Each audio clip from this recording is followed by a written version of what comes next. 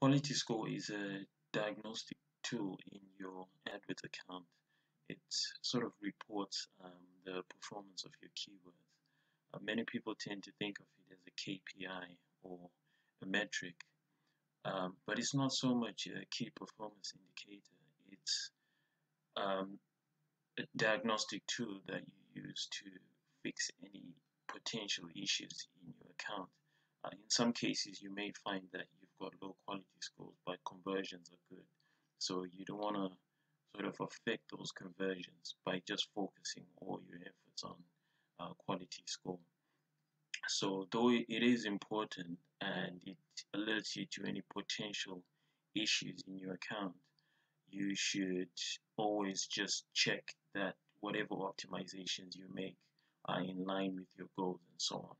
Now there are three fact factors to your quality scores and you look over here, um, the way you first see your quality score is by hovering your mouse over the status column for each keyword and then it shows you um, the, the factors that contribute to it and what the quality score is for that keyword. So this keyword, AdWords contractor, for example, has a 5 out of 10 quality score and that's because expected click rate that's below average, ad relevance above average, and landing page experience at average.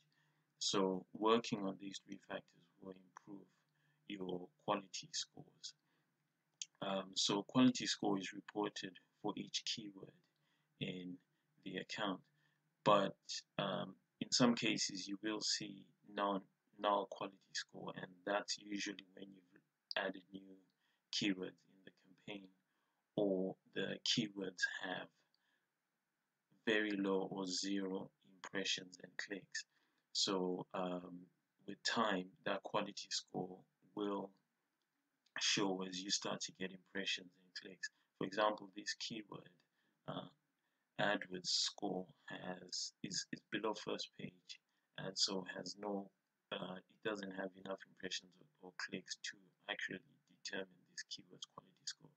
That's a null quality score.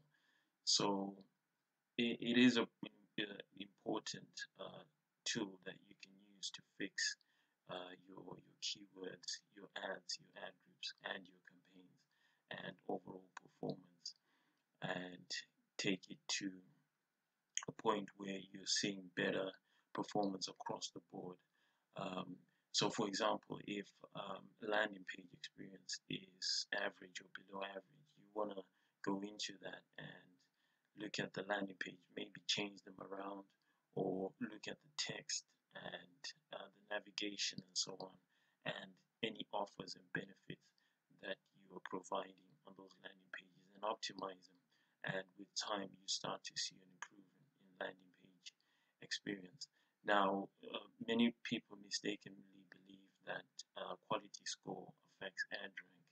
Um, according to Google, that is uh, not the case. Well, at least not anymore.